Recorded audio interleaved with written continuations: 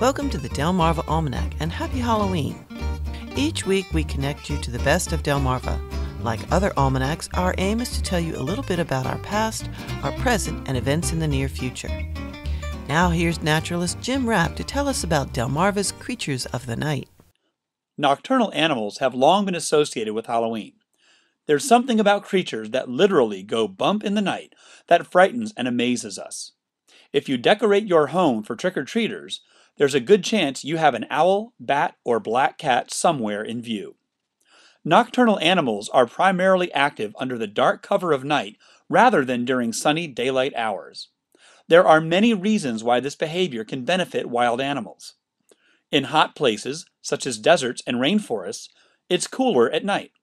If you eat the same food as another similar animal, your ancestors likely switched to the night shift to avoid competition. It's also easier to hide in the dark from animals that might be hunting you. Owls are the bird ambassadors for Halloween, and witches of mythology were often linked to these nighttime hunters. One Greek superstition believed that witches could turn themselves into owls, while others describe owls as messengers for sorcerers and witches. Think Harry Potter's pet snowy owl, Hedwig.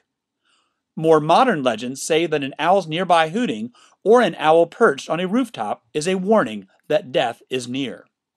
But not all owl superstitions are bad. Some cultures believe that owls are good luck for farmers at harvest time.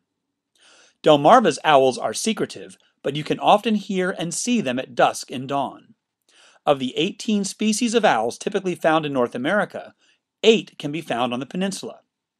Eastern screech owls and great horned owls are commonly heard and seen close to people in urban forests and rural backyards.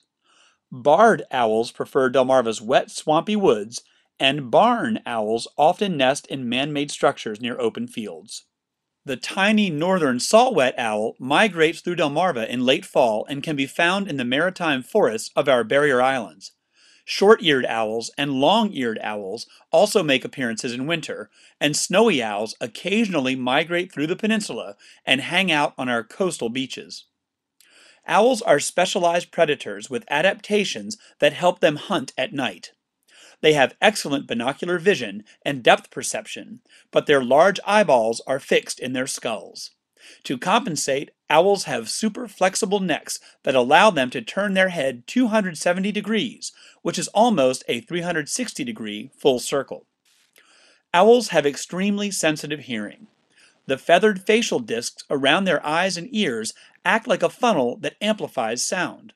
Most owl ear openings are asymmetrical, which allows them to pinpoint the exact location of that tasty mouse rustling in the grass.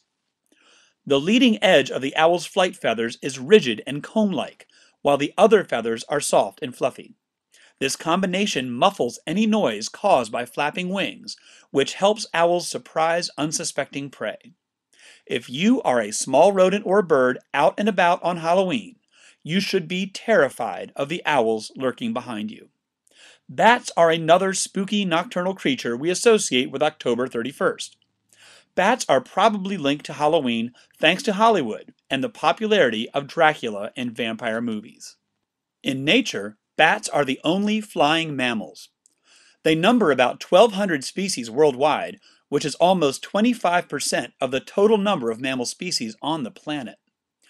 Bats are critical to global agriculture because they protect and pollinate crops. A colony of 1,000 Mexican free-tailed bats can eat the equivalent of two full paper grocery bags of insects every night, according to researchers at Sacramento State University. In the Southwest, nectar-eating bats pollinate agave, which is used to make tequila.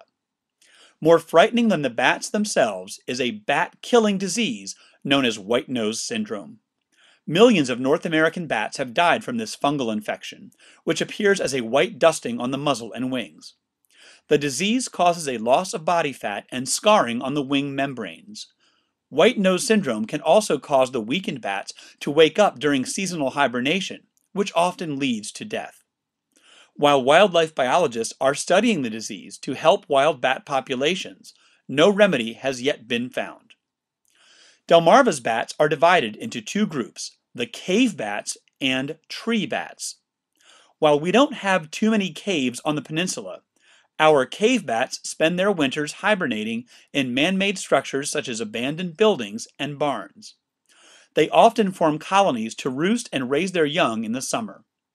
Tree bats tend to be more solitary, and they roost alone or in small groups under pieces of bark or in clumps of leaves. Some tree bats are known to migrate long distances during the spring and fall. Some of our cave bat species include the big brown, little brown, and tricolored bat. Delmarva's tree bats include the eastern red, silver-haired, hoary, and evening bat. Black cats are another classic Halloween symbol for being harbingers of bad luck. Pilgrims of the Plymouth colony associated black cats with witches and sorcery, and they actively persecuted and burned black cats. Apart from the friendly and not so scary black cats living in our homes, cats and wild Delmarva are very hard to find.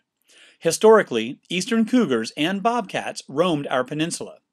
The eastern cougar has been declared extinct in the U.S., but cougar populations in the West are believed to number around 30,000 animals.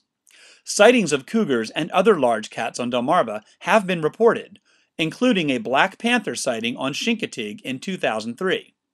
If these cats are living wild on the peninsula, they are most likely escaped pets.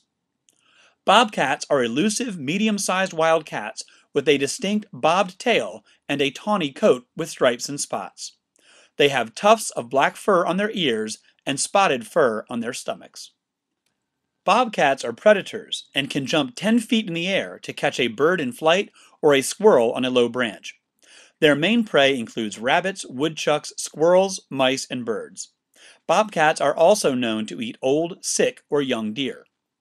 Bobcat sightings on Delmarva have been reported in recent years, but none have been verified by wildlife biologists. They are found on the western shore of the Chesapeake Bay and in southeastern Pennsylvania, so it is quite possible that a few have made the trip south to the peninsula. Keep your ears and eyes open for owls and bats when exploring Delmarva. If you see a wild bobcat, take a picture and send it to your state wildlife agency you may help document an animal that most believe has disappeared from Delmarva.